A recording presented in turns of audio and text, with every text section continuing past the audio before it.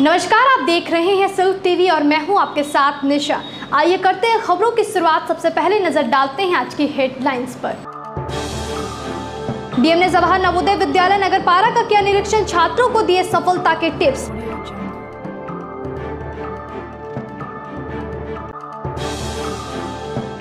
IPS विकास भैरव ने संकल्पम 40 का किया उद्घाटन। छात्रों को आईआईटी और जेईई की कराई जाएगी निःशुल्क तैयारी। युवाओं से संवाद करने भागलपुर पहुँचे गृह विभाग के विशेष सचिव, कहा मंजिल तक पहुँचने के लिए आत्मविश्वास ज़रूरी।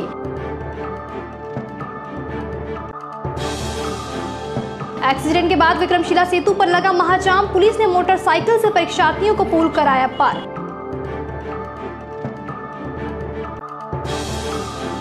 और आज गैबीनाथ में हर्षोल्लास के साथ मनाया जा रहा है जहानबी महोत्सव। अब खबरें विस्तार से। भागलपुर जिलाधिकारी सुब्रत कुमार सेन रविवार को नवगछा नारायणपुर प्रखंड स्थित जवाहर नवोदय विद्यालय नगर पारा पहुँचे, जहाँ नवोदय के स्काउट गाइड छात्राओं ने डीएम को तिलक लगाकर पुष्पगुच्छ भेंट किया, जबकि बैंड बाजा के साथ मार्च पास्ट कर डीएम का स्वागत किया। वहीं इसके बाद जिलाधिकारी ने विद्यालय का निरीक्षण कर प्राचार्य कक्ष में नवोदय विद्यालय प्रबंध समिति के साथ बैठक की। बैठक में नगरपारा नवोदय विद्यालय के प्राचार्य रोशन लाल ने छात्रों के सर्वांगीण विकास के लिए विद्यालय की ओर से प्रगति रिपोर्ट प्रस्तुत किया। प्राचार्य ने छात्रों की उपलब्धि बताते हुए कहा कि वर्ष 2019-20 में बिहार, झारखंड एवं पश्चिम बंगाल के चौरासी नवोदय विद्यालय से ऑफलाइन बोर्ड परीक्षा में शामिल बारहवीं कक्षा के छात्रों ने 11 विषय में से नौ विषय में यहाँ के बच्चों ने पूरे पटना रीजन में शीर्ष स्थान प्राप्त किया, जबकि सत्र 2020-21 में सीबीएसई बोर्ड परीक्षा हुई ही नहीं। इधर निरीक्षण के दौरान डीएम के साथ नवगछिया एसडीएम यतेंद्र पाल, जिला शिक्षा पदाधिकारी संजय कुमार, विद्युत विभाग के कार्यपालक अभियंता पवन कुमार, मनरेगा के कार्यक्रम पदाधिकारी लाल मोहन राय, पीएचसी प्रभारी डॉक्टर विनोद कुमार और मुख्य अन्नपूर्णा देवी भी मौजूद रही। वहीं गणित शिक्षक आशुतोष दुबे ने डीएम को छात्रों द्वारा तैयार आर्ट इंटीग्रेटेड प्रोजेक्ट दिखाया, जबकि कक्षा में डीएम ने भी शिक्षकों एवं छात्रों की मेघा को रखते हुए अपने अनुभव को साझा किया और सफलता के कई टिप्स भी छात्रों को दिया इसके अलावा निरीक्षण के दौरान वॉलीबॉल स्टेडियम में जंगल देखकर डीएम ने प्राचार्य को आवश्यक दिशा निर्देश दिए। साथ ही डीएम ने साइंस पार्क का शिलान्यास कर प्रशाल भवन में आयोजित सांस्कृतिक कार्यक्रम का भी उद्घाटन संयुक्त रूप से दीप प्रज्वलित कर किया। कार्यक्रम में नवोदय विद्यालय समिति की ओर से उत्कृष्ट कार्य के लिए विद्यालय के छह शिक्षक एवं शिक्षिका को डीएम ने प्रशस्ति पत्र देकर सम्मानित किया। वहीं अपने संबोधन में डीएम ने कहा कि नवोदय के सभी छात्र छात्रा टैलेंटेड होते हैं, जिसका उदाहरण 9000 में से मात्र 80 छात्रों का चयनित होकर विद्यालय में प्रवेश पाना है। नवोदय विद्यालय के विद्यालय मैनेजमेंट कमेटी की मीटिंग थी। डीएम उसके पदेन जो है, अध्यक्ष होते हैं। तो आज हम लोगों ने बैठक की, वहाँ जो भी समस्याएँ हैं उस पर विचार विमर्श किया है और सबका हम लोग निराकरण कराएँगे। तो काफ़ी अच्छा रिज़ल्ट हुआ है स्कूल का। और भी शैक्षणिक माहौल, खेलकूद की व्यवस्था, जो और अन्य गतिविधियाँ होती है, उसके लिए भी संसाधन हम लोग उपलब्ध कराएँगे। इन सब विषयों पर चर्चा। सफलता पाने के लिए इच्छा शक्ति का होना ज़रूरी है और इच्छा के लिए संकल्प। तभी हम समाज को आगे बढ़ा सकते हैं। यह कहना है बिहार सरकार गृह विभाग के विशेष सचिव विकास भैरव का। दरअसल रविवार को आईपीएस विकास भैरव भागलपुर के श्री रावतमल नोपानी छात्रावास के प्रशाल में संकल्पम फोर्टी का उद्घाटन करने बतौर मुख्य अतिथि पहुँचे थे। बता दें कि भागलपुर टेक्नो पॉइंट, रावतमल नोपानी छात्रावास, वेलफेयर सोसाइटी एवं लेट्स इंस्पायर बिहार की ओर से संकल्पम फोर्टी की शुरुआत की गई, जिसके तहत निधन और मेघावी छात्रों को आईआईटी एवं जेईई की निःशुल्क तैयारी कराई जाएगी। साथ ही छात्रों को आवास और भोजन की सुविधा भी फ्री में मिलेगी। इसके पूर्व विकास भैरव ने टेक्नो पॉइंट के निदेशक अंशु सिंह, रावतमल नोपानी छात्रावास के अध्यक्ष राम गोपाल पोदार गिरधारी केजरीवाल, बंटी यादव, शिवशंकर सिंह परिजात और टीम के सदस्यों के साथ संयुक्त रूप से दीप प्रज्वलन कर कार्यक्रम का विधिवत उद्घाटन किया। इस दौरान उन्होंने सभी के प्रयास की सराहना की। कार्यक्रम में आईपीएस विकास भैरव ने कहा कि समाज तब आगे बढ़ता है जब सक्षम लोग गरीबों की मदद करते हैं।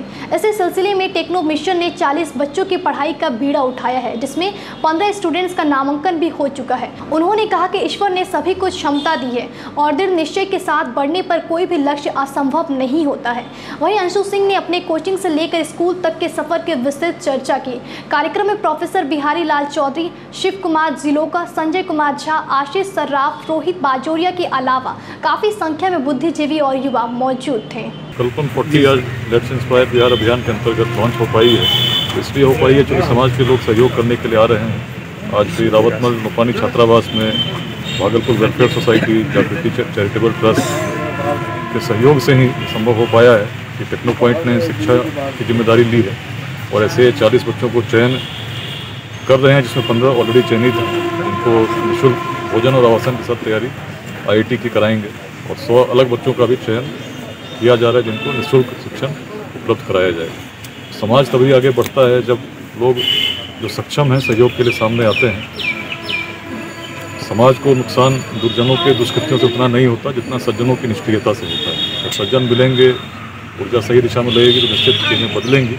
और यही इसी आशा के साथ, इसी संभावना के साथ हम लोगों ने इस अभियान को चलाया है। आज आठ मई है, आज मदर्स डे है और आज के दिन भागलपुर में लेट्स इंस्पायर बिहार के प्रणेता आईआईटीएन आईपीएस और बिहार सरकार के गृह विभाग के विशेष सचिव माननीय विकास वैभव जी का आगमन हुआ है।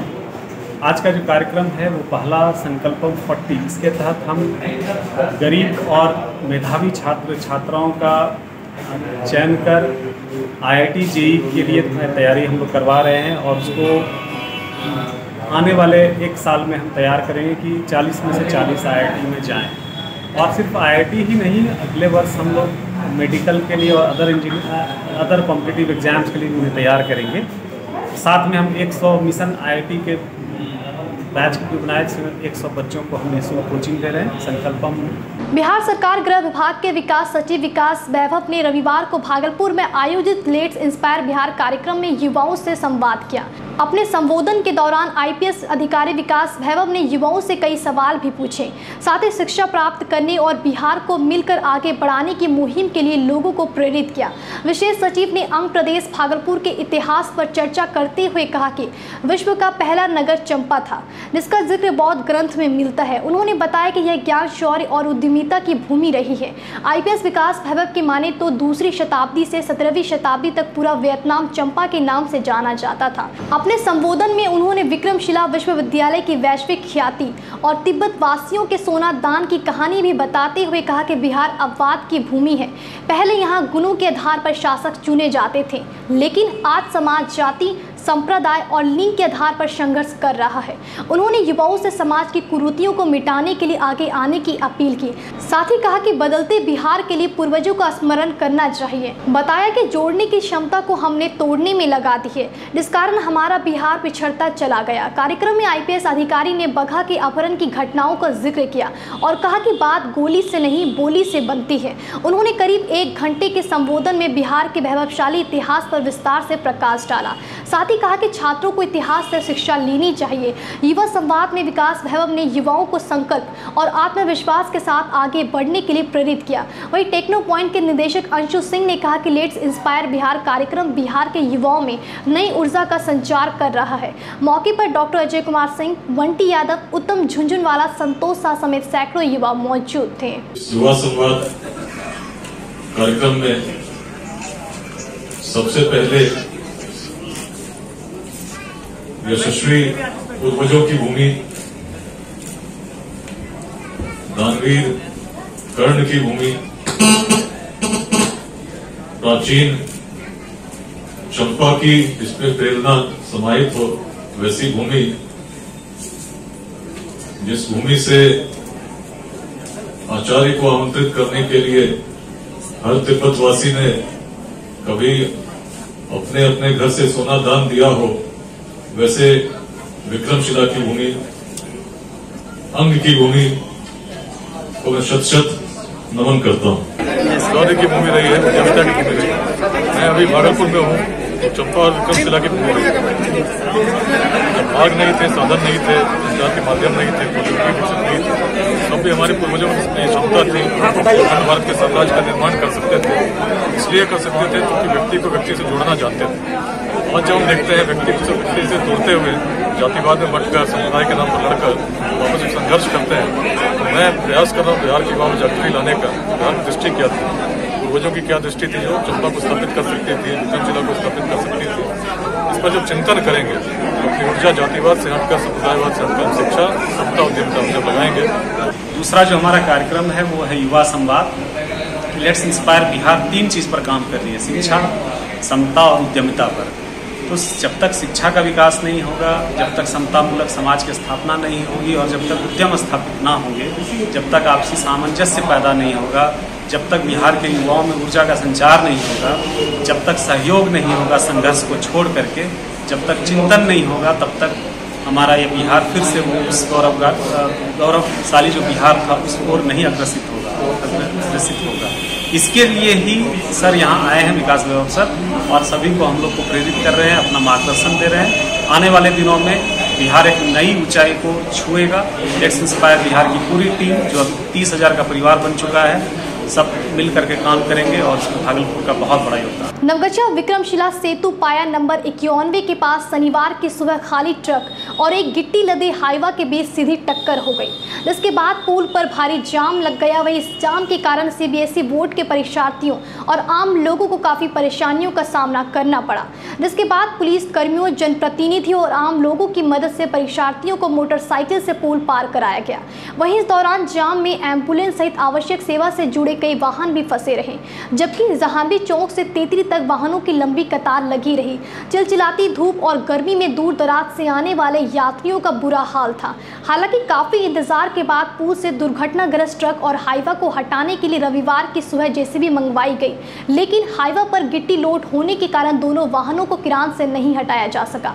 वहीं इसके बाद नवगछा के एसडीपीओ दिलीप कुमार की मौजूदगी में हाईवा को अनलोड करने की प्रक्रिया शुरू की गई, जिसके कारण दोपहर बाद तक दुर्घटनाग्रस्त वाहनों को नहीं हटाए जाने से पुल पर जाम की स्थिति बनी रही, जबकि परीक्षा समाप्त होने पर घर वापसी के लिए आने में परीक्षार्थियों को एक बार फिर से जाम का सामना करना पड़ा। वहीं इसको लेकर नवगछिया एसपी सुशांत कुमार सरोज ने कहा कि वाहनों के टक्कर के कारण जाम की स्थिति उत्पन्न हो गई थी, जबकि जाम के दौरान प्रतिनिधि पुलिस कर्मियों और पदाधिकारियों ने सेवा भाव का परिचय देते हुए बड़ी संख्या में परीक्षार्थी बच्चों को मोटरसाइकिल से पुल पार कराया। क्या दुख का जाम होता है? जाम का कारण भी मैं बता देता हूँ। जब भी जाम लगा है, पुल पे या तो गाड़ी खराब हो जाती है या फिर एक्सीडेंट हो जाता है। उसके बाद ही जाम लग जाती है। आज भी घटना घटी है। दो गाड़ी में टक्कर हुआ है। गाड़ी लोडेड हैवा था, गिट्टी से लोडेड था। उसके बावजूद वहाँ उपस्थित जो पुलिस थी लगातार वो मेहनत करके कम से कम मैं ये ये नहीं कह रहा हूँ कि पूरा जाम को क्लियर कर दिया गया। लेकिन ट्रैफ़िक को स्मूथ किया गया वन वे ट्रैफ़िक के माध्यम से। और आज एग्ज़ाम भी था C B S E tenth का था। हमें लड़कों ने, लड़कों के पेरेंट्स ने फ़ोन किया था टीचर ने भी फ़ोन किया था। और हमारे निर्देश, हमारे कांस्टेबल या पदाधिकारी जो भी थे, या तो अपने बाइक से, या वहाँ से गुजरने वाले बाइक से, या अन्य जो छोटी मोटी गाड़ियाँ थी, उस पर बैठा करके बच्चों को एग्ज़ाम दिलवाया। भागलपुर के सुल्तानगंज अजगैवी नाथ में हर्षोल्लास के साथ जहानवी महोत्सव मनाया जा रहा है। महोत्सव को लेकर जहानवी गंगा महाआरती सभा के महामंत्री संजीव झा ने बताया कि वैशाख शुक्ल पक्ष सप्तमी के दिन ही माँ गंगा का पृथ्वी पर पुनः आगमन जहानवी ऋषि के जंघा से हुआ था। उन्होंने कहा कि वैशाख शुक्ल पक्ष सप्तमी के दिन जहानवी ऋषि की जंघा से निकलने के कारण उनका नाम जहानवी पड़ा और इसी कारण जहानू नगरी को जहानवी गंगा की पुनः जन्म स्थली माना जाता है। साथ ही कहा कि अजगैवीनाथ धाम उत्तर वाहिनी गंगा तट पर सोमवार को सात विद्वान पंडितों के द्वारा माँ गंगा की भव्य महाआरती की जाएगी। इसके अलावा माँ गंगा के पुण्य अवतरण दिवस को लेकर सुल्तानगंज क्षेत्र वासियों से माँ गंगा के चरणों में एक दीप अर्पित करने की अपील की, जिससे कि आने वाली पीढ़ियों को हमारी सांस्कृतिक एवं धार्मिक प्रतिष्ठा के महत्व का पता चल सके। बता दें कि गंगा महाआरती में पंडित कृष्णा मिश्रा, नवीन झा, प्रवीण झा, रजनीश झा, मन्ना सागर, गुलशन झा एवं अंकित मिश्रा द्वारा की जाएगी। वहीं रविवार को आयोजित जहानवी महोत्सव में पंकज यादव, राजेश झा, सौरभ कुंजू, गुंजन बाबा समेत काफ़ी संख्या में श्रद्धालु मौजूद थे। जहानवी गंगा का आज पुनर्जन्म। जंडो ऋषि के जंघा से माँ गंगा का पुनर्जन्म हुआ और माँ गंगा का नामकरण जहानवी पड़ा। यह जन्नू नगरी माँ गंगा की पुनर्जन्म स्थली मानी जाती है। इसके उपलक्ष्य में यहाँ माँ गंगा को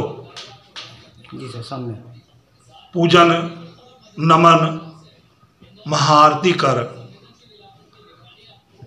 उनके उत्सव को मनाया जाता है। अब वक्त तो चला एक छोटे से ब्रेक का फॉरन लौटेंगे देखते रहिए सिल्क टीवी।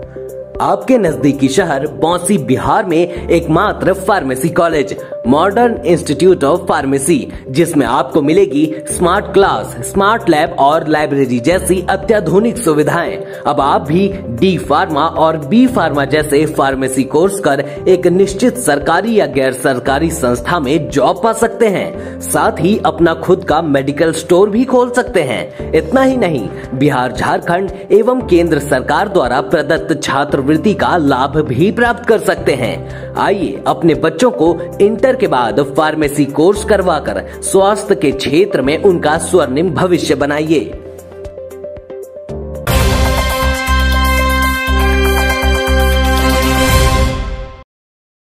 ब्रेक के बाद फिर से एक बार आपका स्वागत है। बढ़ते हैं अगली खबर की ओर। अगर खुद पर विश्वास हो तो सरकार की पहल के बिना ही समस्याओं का समाधान निकाला जा सकता है। कुछ ऐसा ही काम किया है भागलपुर सुल्तानगंज प्रखंड स्थित मस्ती मौसा के ग्रामीणों ने। दरअसल यहाँ के ग्रामीणों ने पानी की समस्याओं को हल करने के लिए खुद ही आपसी सहयोग से तालाब खोदने का काम किया, जिससे किसानों के साथ ग्रामीणों को पानी की किल्लत से काफ़ी हद तक राहत मिली है। वहीं इसको लेकर ग्रामीणों का कहना है कि बिहार सरकार के साथ कट्ठा ज़मीन वर्षों से खाली पड़ी थी, जहाँ जल संकट को देखते हुए पूर्व प्रमुख प्रमोद मंडल की अगुवाई में ग्रामीणों ने आपसी सहयोग से पोखर की खुदाई की, जिससे ग्रामीणों को लगातार हो रहे जल संकट की समस्या से राहत मिल सके। वहीं गाँव के पूर्व उप मुखिया मोहम्मद मतीन ने बताया कि ग्रामीणों के सहयोग से खोदे गए पोखर से गाँव के सैकड़ों किसान और पशु लाभान्वित होंगे। हालाँकि एक और जहाँ ग्रामीणों की इस पहल से लोगों के बुलंद इरादों का पता चलता है, वहीं दूसरी ओर प्रशासनिक स्तर से जलापूर्ति और तालाब खुदाई को लेकर किए जाने वाले दावे की पोल खुल जाती है।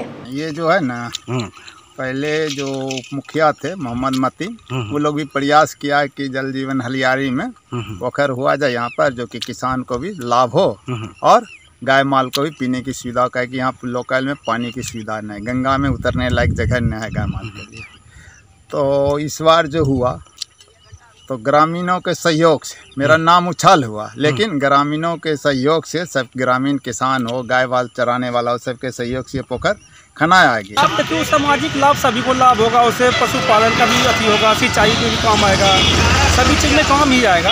बिहार सरकार की उम्मीद है तो वो पोखर होना ही चाहिए। जाता तो भी अच्छी बात है। परीक्षा ड्यूटी से लौट रहे गया के सदर एसडीओ और टीएसपी के गार्ड से हुई झड़प के कारण कोलकाता नई दिल्ली रेलवे लाइन पर आवागमन घंटे भर बाधित हो गया।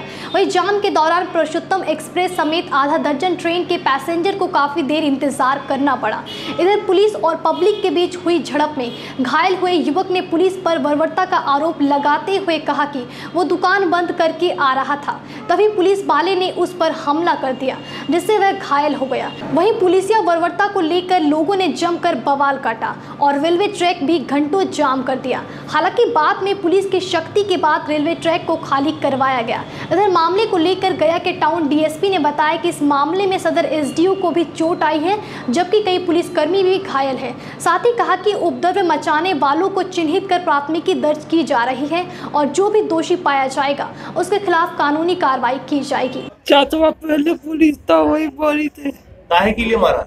अबे जी, आ रहे थे उधर से गाड़ी पर से उतर के आके मार दिया था कस के दम चपेट दिया था इस पे यहाँ पे मारी तो लकी फटकर डटवा दी लकी मार दी थी।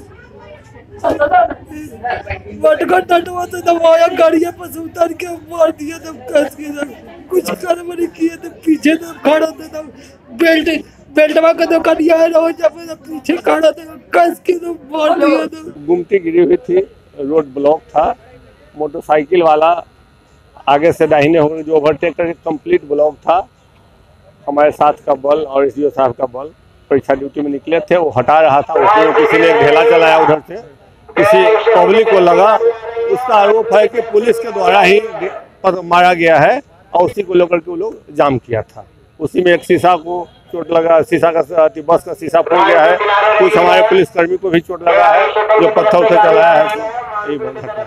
उन लोग को हटा दिया गया है। और उसको जो, जो पब्लिक को जो चोट लगा था वो इलाज के लिए हॉस्पिटल गया। भागलपुर रामसर चौक के समीप अम्माजी सेवा केंद्र में रविवार को निशुल्क स्वास्थ्य जाँच शिविर का आयोजन किया गया। शिविर में वरीय फिजिशियन डॉक्टर जिया अहमद ने चिकित्सीय परामर्श दिया। इस दौरान बीपी मधुमेह समेत कई प्रकार की जाँच की गई। डॉक्टर जिया अहमद ने बताया की गर्मी के मौसम में ज़्यादा तापमान के कारण हमारी बॉडी में कई तरह के गंभीर प्रभाव पड़ते हैं। उन्होंने कहा की डिहाइड्रेशन होने पर तुरंत चिकित्सक से संपर्क करें। वही सेवा केंद्र के अध्यक्ष मुजफ्फर अहमद ने बताया कि प्रत्येक रविवार को अम्मा जी सेवा केंद्र में निशुल्क स्वास्थ्य जाँच शिविर लगाया जाता है, जिसमें सभी वर्ग के लोग आकर चिकित्सीय परामर्श ले सकते हैं। इस अवसर पर अम्मा जी सेवा केंद्र के सचिव जयप्रकाश यादव, उप सचिव सैयद जीजा हुसैन, दुल्ला खान समेत कई लोग मौजूद थे। इन दिनों परामर्श ज़्यादा जो हम लोग केस देख रहे हैं, डे टू डे प्रैक्टिस में, वो इलेक्ट्रोलाइट इम्बैलेंस जैसे किसी को लू लग जाना, गर्मी के मौसम में कॉमन चीज़ है।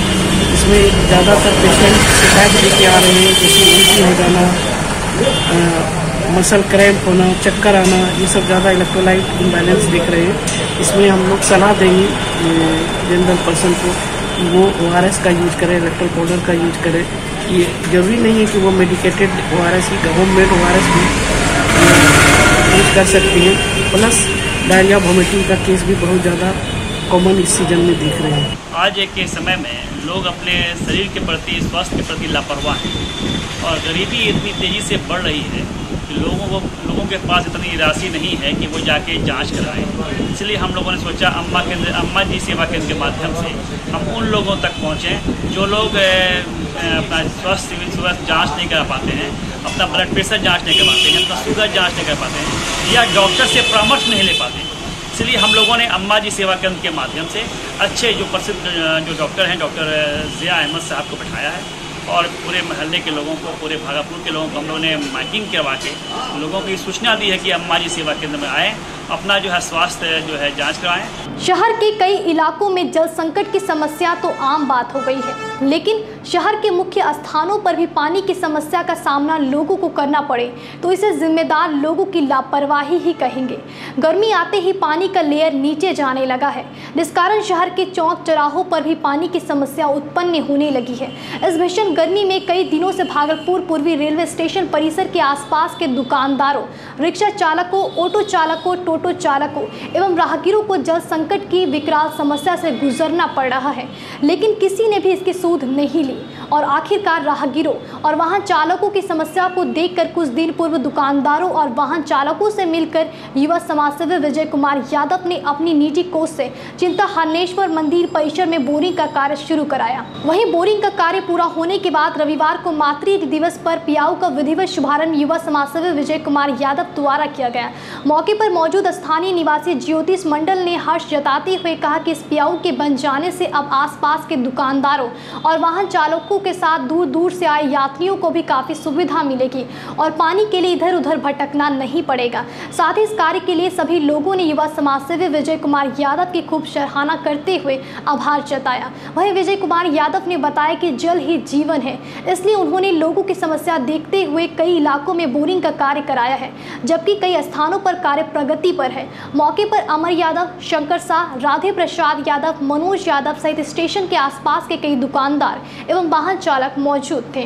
आज का कार्यक्रम जो है, यहाँ पे स्टेशन परिसर में एक मंदिर है और यहाँ पे जितने भी व्यवसाय करने वाले व्यक्ति हैं, जो छोटे ठेला पे लगाते हुए हैं जैसे जोखी वाले हैं, दुकानदार लोग हैं, उन लोगों को यहाँ पे पानी की बहुत बड़ी समस्या थी और पीने के लिए बहुत प्रॉब्लम हो रहा था। पीने के लिए क्या जो रागीर है, उनके लिए भी बहुत ज़्यादा प्रॉब्लम था। इन लोगों को देखते हुए, इनके कष्ट को देखते हुए यहाँ पे एक प्याऊ का जो है, निर्माण कराया किए हुए हैं और इसका जो है विधिवत दर से उद्घाटन है। और ये पानी की समस्या तो आप लोग भी जान रहे हैं कि पूरे शहर में लगातार चल रही है। ये मेरा मुहिम है पानी को दूर करने की, जो जो कष्ट है लोगों को, पानी का उसको दूर करने के लिए। लगभग वार्ड में मेरा प्याऊ का काम चल रहा है और लगातार चलते रहेगा ये। यहाँ पे हम लोग जितने भी यहाँ पे दुकानदार हैं, उनसे मिले जुले काफ़ी कष्ट में थे वो पाने के लिए। यहाँ पे जो भी पानी पीने का इच्छा जिसका होता था, वो खरीद करके ही पीते थे। और यह बात जो है सभी दुकानदारों ने विजय भैया के समक्ष में रखा है। विजय भैया ने सारे दुकानदार एवं राहगीरों का बहुत अच्छे से ध्यान रखा है। पानी उन्होंने दिए और सबसे बड़ा विजय भैया बहुत धन्यवाद के पात्र हैं। उन्होंने हम लोगों की बात को रखा और इसके लिए मैं विजय भैया को बहुत बहुत धन्यवाद देना चाहूँगा। और चिंता हरनेश्वर मंदिर है यह, स्टेशन परिसर की। यहाँ सभी का चिंता दूर होता है। पानी का एक चिंता था। उन्होंने जिस विधत में बोला कि आप विजय भैया से संपर्क कीजिए विजय भैया से संपर्क हुआ यह पानी की चिंता दूर हुई। अब चिंता रहा विजय भैया का। विजय भैया भी हम लोग हम लोग जितने भी यहाँ पे स्टेशन परिसर के कोई मिर्जान के हैं कोई अलीगंज के हैं। कोई परबत्ती के हैं सभी से गुजारिश करूँगा कि जो विजय भैया ने हम लोगों के लिए किया अब हम लोगों को करना है विजय भैया भागलपुर हुसैनपुर में पाकिजा कमेटी की ओर से रविवार को पाकिजा चौक के समीप ईद मिलन समारोह का आयोजन किया गया। कार्यक्रम की अध्यक्षता समाजसेवी रिजवान खान ने की। ईद मिलन समारोह में महबूब आलम, मोहम्मद शकील, सलीम सुगंध, वसीम खान उर्फ़ लल्लू समेत कई लोगों ने शिरकत की। वहीं रिजवान खान ने बताया कि पर्व त्योहार समाज में खुशियाँ और नई ऊर्जा का संचार करता है। जबकि वसीम खान, मिंटू कलाकार और उदय ने कहा कि ईद के मौके पर एक दूसरे की खुशी में शरीक होना हमारी संस्कृति है। कार्यक्रम के दौरान कई लोगों ने अपने विचार व्यक्त किए। साथ ही समाज में आपसी सौहार्द और भाईचारा को बढ़ावा देने का संदेश दिया। ईद मिलन समारोह में इनूर होदा, तकी अहमद जावेद सहित शहर के कई लोग मौजूद थे। आज कमेटी की तरफ़ से में ईद मिलन समारोह का आयोजन किया गया। इसका मकसद है समाज में इस तरह की जो अशांतियाँ हैं, नफरतें हैं, उसको कैसे ख़त्म किया जाए। एक दूसरे के बारे में ज़्यादा से ज़्यादा हम लोग मिले जुले और जो समस्या है, परेशानी है बैठ मिल के हल करें। ताकि जो समाज को तोड़ना चाहते हैं, जो सामाजिक सद्भाव को बिगाड़ना चाहते हैं उनको हम लोग हरा देश देश में इस तरह के प्रोग्राम को ज़्यादा से ज़्यादा इस करने की ज़रूरत है जैसे होली मनाने दशहरा ये इस तरह के कार्यक्रम का मकसद ही यही है। हम लोग एक दिन से तीन दिन होंगे लेकिन लगातार इस तरह के प्रोग्राम आगे भी करते रहेंगे। बांका के धौरैया प्रखंड क्षेत्र अंतर्गत फत्तूचक गाँव में नौ दिवसीय महारुद्र यज्ञ सह शिव परिवार अचल प्राण प्रतिष्ठा के आयोजन को लेकर भव्य कलश शोभा यात्रा निकाली गई। फत्तूचक गाँव स्थित गेरुआ नदी के किनारे बने भव्य यज्ञ मंडप से गाजे बाजे के साथ निकाली गई कलश शोभा यात्रा में 501 कन्याओं ने हिस्सा लिया, जबकि पूरे मार्ग में जय श्री राम और जय माता दी का जयकारा गूंजता रहा। वहीं भ्रमण करने के बाद गेरुआ नदी से जल भरकर कलश शोभा यात्रा विभिन्न मार्गों से होते हुए पुनः यज्ञ मंडप पहुंचकर संपन्न हुई। वहीं रविवार को कथा व्यास आचार्य ओम प्रकाश जी महाराज एवं उनके साथ आए विद्वान पंडितों के द्वारा मंत्रोच्चार के साथ यज्ञ का शुभारंभ किया गया। मौके पर यज्ञ के मुख्य यजमान दिवाकर मंडल सागर मंडल, मनोज मंडल, कुंदन कुमार और संजय मंडल समेत काफ़ी संख्या में श्रद्धालु मौजूद रहे। इधर विद्वानों ने कहा कि यज्ञ से लोगों में सदाचार एवं सदगति आती है, जबकि लोगों में व्याप्त कुरूतियाँ भी दूर होती है। और अंत में चलते चलते फिर से एक नज़र आज की हेडलाइंस पर। डीएम ने जवाहर नवोदय विद्यालय नगरपारा का किया निरीक्षण। छात्रों को दिए सफलता के टिप्स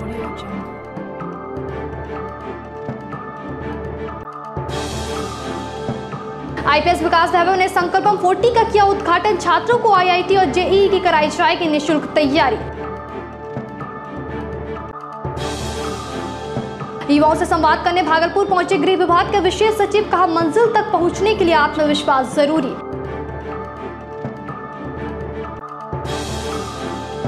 एक्सीडेंट के बाद विक्रमशिला सेतु पर लगा महाजाम, पुलिस ने मोटरसाइकिल से परीक्षार्थियों को पुल कराया पार।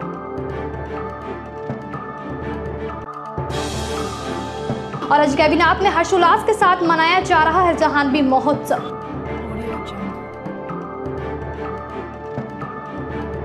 फ़िलहाल इस बुलेटिन में इतना ही। नमस्कार।